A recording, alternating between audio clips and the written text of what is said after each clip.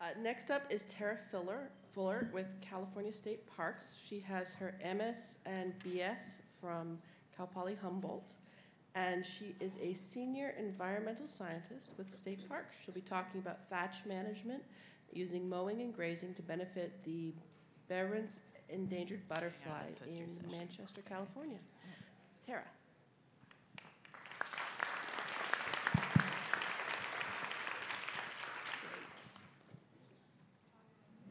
So I think this is the big arrow, and I'm going to go for the big arrow. Hi, thank you so much. Um, good morning, and I appreciate Northern California botanists um, inviting me to present today. And I just want to also say I'm really thankful for this opportunity to talk about some monitoring data that we collected looking at some techniques. And I also want to um, put a plug in the California um, Native Grassland um, booth over there. I, I found them midstream in this project, and they were a really great resource. All right, let's see. Big, oh, there we go. Okay. Um, so a little bit about our butterfly. That's it's federally endangered, and it was endangered, designated endangered in 1997. The historic range was from Mendocino to Salt Point, and the current range is from Manchester State Park to Salt Point. The main um, location of occupancy is on the BLM Stornetta property, and there's scattered occurrences um, on Parks property at Manchester and Salt Point. There are two similar subspecies, um, the myrtles to the south in Sonoma, and to the north, the Oregon. So, a little bit about the life history of the butterfly. It emerges in early to midsummer. Um, it immediately tries to find nectar plants. These are important for energy and egg development. And again, it's emerging in September. This isn't really our peak flowering season. So you can see already there's some challenges for the um, butterfly. It mates immediately. The males usually emerge first. The ovaries take about a month to mature. And then they lay their eggs on or near blue violets. They can actually, there is evidence that they can smell the violets even if there's no above ground matter. Um, the larvae overwinter without feeding, and then they go through approximately six molts, and then they reemerge uh, two to three weeks again in the late um, summer. We know most of our knowledge about Behrens from a lot of the work they've done on Oregon silver spot. So we've been very lucky that they have done a lot of research up there. So many of you are a botanist. I am not, but I'm um, so go easy on me. But um, there is Viola adunca is the host plant, and many of you probably know um, Viola adunca, adunca is a host plant for many fritillary species. So it's an important um, plant, um, and it takes a lot of leaves and plants to support one caterpillar. They've done some research, and it takes about 200 leaves or 25 plants per meter. And, and, the, and the, what's really unique is the caterpillar has no way to really find um, the plant. So it kind of just wanders through space and then it like runs into a viola and this is like, ooh, I want to eat this. So it doesn't have any olfactory mechanisms that we know of at this point to find the plant. So it really does need a high, uh, you know, high density number of plants. Um, this is a perennial herb, which is good in a perennial grassland. Um, it spreads by woody rhizomes and seed, and it locally occupies vernally mo- moist meadows, prairies, stream banks, and the um, edges of conifers. So, a little bit about Manchester State Park. If you've never been there, it's very beautiful. Um, Pre contact, it was home to the Central Pomo Indians, now recognized as the Manchester Band of Pomo Indians. Um, early settler, settlers did cultivation on ranching on the um, property. And in 1930, the State Park Commission set aside the beach. And through a series of acquisitions, it became whole in 1991. So it's still a relatively, you know, new park. But what is really amazing about Manchester, it has about 5,700 acres of dunes, prairies, coastal scrub, freshwater wetlands, riparian and estuaries, and contains seven endangered um, or threatened species. So it's a very important home to many listed um, animals. So, why restoration? Um, we have these prairies that look super beautiful. They're like blowing in the wind and they're golden. Um, but basically, they have been really impacted by historic agricultural activities, loss of fire, loss of grazers, non-native grasses, you name it, and this has really affected the, has resulted in ecological changes to the prairie. Um, we have invasive perennial grasses that compete for resources um, through space, sunlight, water, and through the dense accumulation of thatch. And Behren silver spots are basically low to absent at Manchester. So they're very rare at this point, and we wanted to kind of, um, working with our working group, kind of look at opportunities and to maybe improve the prairie. And we had two locations at Manchester's that, um, that contain Viola adunca, so it was really easy to kind of split those two locations and look at treatments. And mowing and grazing has been a tool to help control invasive grasses. This is documented in the literature. It is do documented in the recovery plan for the butterfly. So in 2015, we got some initial funding from recovery funding from our local Arcata office at U.S. Fish and Wildlife Service. And then we got some more funding through the Disney Conservation Fund, which really allowed us to um, keep going with our treatments and monitoring. So, we had a pretty simple question, right? This isn't a PhD, this isn't my master's thesis. We just wanted to know does grazing or mowing reduce thatch numbers um, and reduce thatch and increase viola. So in 2015 and 2016, we implemented treatments and um, we did 20 acres of mowed and 20 acres of grazing. Those are those large polygons that you see on the map. And then we did 10, 10 acres of control, which were immediately adjacent. And what you're seeing also on the map is where the lines are. Those are our, um, our, our um, butterfly monitoring survey transects. Our violas, which are the stars, are immediately hovering those transects. And then we have some dots that are associated with the Robel pole monitoring we did. Um, and so what we really looked at is mowing and grazing during the spring or summer or fall or winter, but we mostly implemented fall and winter, and I'll go into those reasons. Um, and additionally, with some of that funding that we received from Disney, we, we implemented a similar project at Salt Point State Park using um, cattle as our grazers. And so because we had so many activities going on and so many things, we created a chart that we basically keep, keep track of to today for all our activities. I think it's really important. I get confused and you know, you got to kind of know what did I do, when, and there's a lot going on. So our monitoring, um, we did some pre-project initial monitoring. We just did an initial Viola count. Um, Renee Pasquinelli here in the audience helped me. Peter Warner, our consulting biologist, we went out and we did some pre-project viola counts. Um, we did we maintained our, butterfly, our butterfly survey effort. And again, we had these transects since 2007. I'm not going to report on these da this data because we basically only had a few detections during 2007 and only one during the treatment period. Um, we used um, Robel pole to, um, to measure thatch density. It's an optical measurement to like get centimeters in height. So I'm just going to show some pictures of being state parks. We get to take a lot of pictures, and they've really come come in handy to kind of go, what did I do and when did I do it? Um, so I really like pictures, and I think it helps to tell the story. So this is the control mowing site.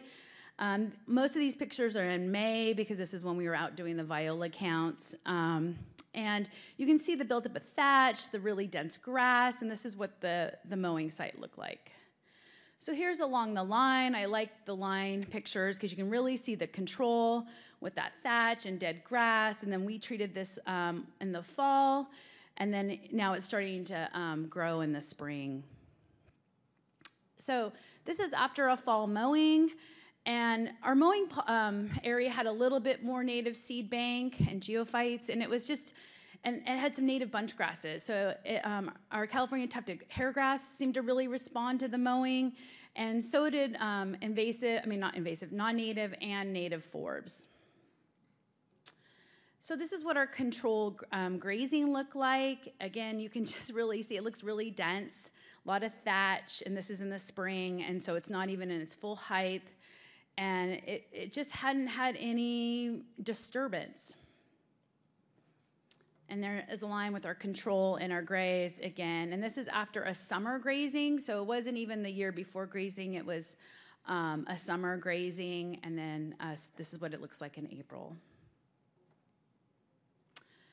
So after our fall grazing, um, I, I wanted to show this this picture here because this wasn't a wet year. We were really lucky to have um, a number of wet years. This was really important because we had kind of come out of a drought, and droughts are kind of challenging for any forbs. Um, and so it was just it was really good to have some water on the landscape, and the wet areas seemed to respond really well. Um, we end up getting some blue-eye grass that we really never had seen um, some harlequin lotus, um, some butter, um, buttercups, and just uh, uh, you know a few native plants that popped up. So again, we have really simple results. Um, we basically did viola counts, and um, what you can see is overall is an increase in the number of violas through the, the study period for five years. And um, what you can see is that the numbers overall increased. We um, think this was a result of detection probability. The same surveyor was basically doing the counts in the same areas.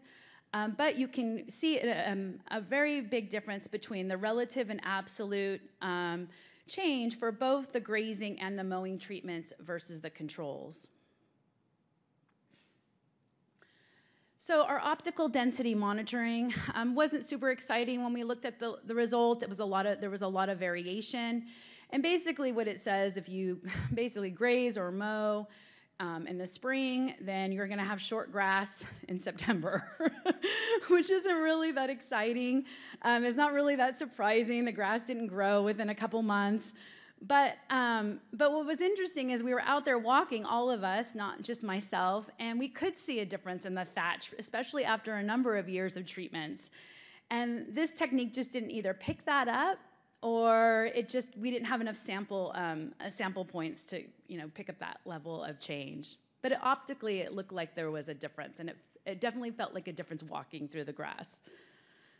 Um, and this is just a picture of the technique. Again, okay, yeah, we put it the, on the fall and spring. We did two treatments in the fall and one that spring, and the grass is really short. And then we put them all in the fall, and by the, that summer, the grass is really tall, and then the control in the bottom. So this is just illustrating what I was saying. So I generally, we have some monitoring cl- conclusions, is that viola numbers did increase both of the grazing and mowing. The dead thatch was removed with annual treatments. Um, however, only spring summer treatments reduced the density of grass during the Behren's flight season. Um, and this was using the Robel pole method. However, observationally, like I just said, um, there appeared to be a carryover effect, especially with re- repeated years of treatments. So I get to walk around a lot, and so I carry around a list of observations all the time. And um, in the fall and winter, treatments reduced the grass thatch, thatch through the spring and early summer and lasted through the um, viola blooming season. So you could do a treatment in the fall or winter, and it would carry over through that spring's viola season. So it was a really great time um, to do this treatment. The native forbs and native grasses um, showed a response in areas that we observed where the seed bank was present. However, in 2019, we, um, we were lucky enough to have Mendocino County flown with LIDAR. And with this data to the map, you can see um, that the historic tilling lines really popped up from the previous um, land management that had occurred in the 40s or the 60s. This is one foot LIDAR. So, again, really looking at your LIDAR data can kind of help maybe tell a story. So the truth is, we don't really have a native seed bank present. Um, so, and the other observation that kind of came from all this is that uh, purple velvet grass appeared to be reduced, although we weren't specifically measuring it, um, by the mowing of gra- by grazing. However, the bent grass still seemed to really respond to it. So we're mowing it, and now we're getting um, Agrostis stoloniferus or capillaris, and you know, it's a rhizomatous grass. I, this is, I don't know if I'm trading one that's better, probably worse. So, anyways, this is going to be a long term management challenge. So, monitoring conclusions. Um, oops, sorry, wrong one. Recommendations. So, um, as a land manager, I'm trying to look at where do I go from here? What are my steps? How would I do this in maybe other places? And grazing and mowing are thatch reduction techniques and, and can improve the flowering of natives. We have some coastal prairies that are relatively intact, and however still have holcus on the fringes and they're kind of um, increasing into our native areas. We're going to be looking at mowing um, specifically because it's easy to move around to treat these areas and monitor these areas with some disturbance. Again putting a disturbance back on the landscape for perennial grasses, fall treatments will last until the spring, early summer blooming season. So this is a really nice time to do. We do a lot of our vegetation management in the fall um, because it avoided the bird nesting season. I know that maybe seems kind of, but we have to manage all these other species that are present. And the other thing is, um, it didn't impact the spring, summer, and forb. So we weren't putting, we're not gonna put the mower out and then mow whatever is blooming in the in the during the butterflies flight season. And I'm, I'm ready for questions. So the farmed and tilled grasslands will likely remove, will need something more aggressive than just treatment alone. And we have some upcoming funding that will help um, maybe facilitate um, doing um, a bare earth treatment. I just want to say thank you um, to everybody that had really helped for U.S. Fish and Wildlife Service, the Arcata office, kind of looking um, outside the box um, Florida University and the Disney Conservation Fund, our state park team, past and present, um, and our consulting bot- um, botanist, Peter Warner. Again, it really takes a lot of people, and I also want to bring out the heavy equipment operators. It's not usually just the biologist that makes restoration happen. It takes a lot of other team players. So thank you, and I don't know if I have any time for questions, but I do, it sounds like.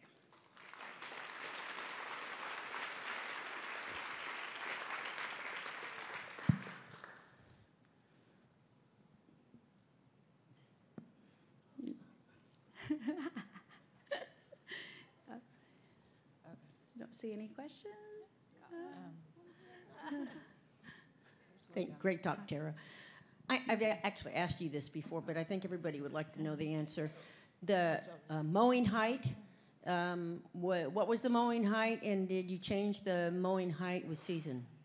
No, we did not. We had a basically a one um, mower that did five inches. We just purchased another mo- uh, mower that can really adjust it for different invasive species, but it was five inches, and that was to kind of reduce any impacts to the viola, and that was our our general mowing height was five inches.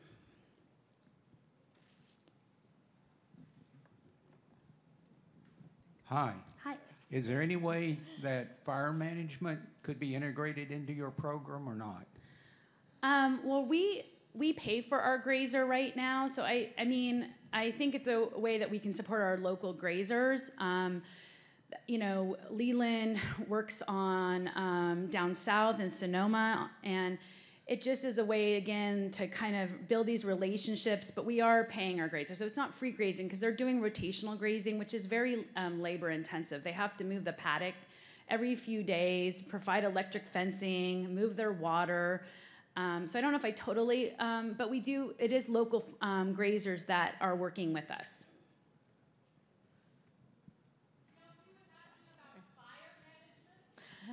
Yeah. So fire. Oh, fire management. So um, I had a, um, a note about um, fire, and you know we are looking into prescribed fire. Um, but at, we have seven endangered animal species, and so it's very much a challenge.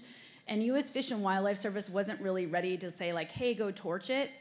Um, so, I, I, and I'm just being honest. These are the things that we have to navigate through as a land manager. And so, what we we did the things we can do. I think the nice thing about grazing and mowing, it's a great interim tool between burning. So if you can't burn, you know, there's some papers out there that show the results of prescribed fire last about five years but, but mowing is somewhat of a surrogate in grazing, so you can kind of integrate those. And I also would say that the mowing is a great pre treatment prior to um, actually doing prescribed fire because it gives a really great mosaic of fuels. And so I'd really recommend before you're gonna burn a prairie is to really maybe look at some pre treatments. But we are doing more fire. We're currently uh, burning in the dunes, so it's exciting.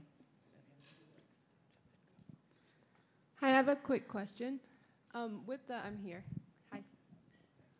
Hi. Um, with the mowing, did you remove the clippings or did you let them broadcast onto the onto the ground? Yeah, we just let them mulch on site. Okay. Yeah. One We- more question. We had a question online. Um, What was the grazing period, and can you speculate how the viola would respond if the grazing period were six months, fall through winter? Um, well, I, I think, you know, I look to our grazer to kind of help answer questions about grazing regime. Um, we did fall, and I'm hoping I'm going to answer all this right, because most of the time, because it was easy. And I like the thing about rotational grazing, because what it does, it doesn't really allow them to select. So if you're just having the, the grazers out on the landscape, they can really select for what they want.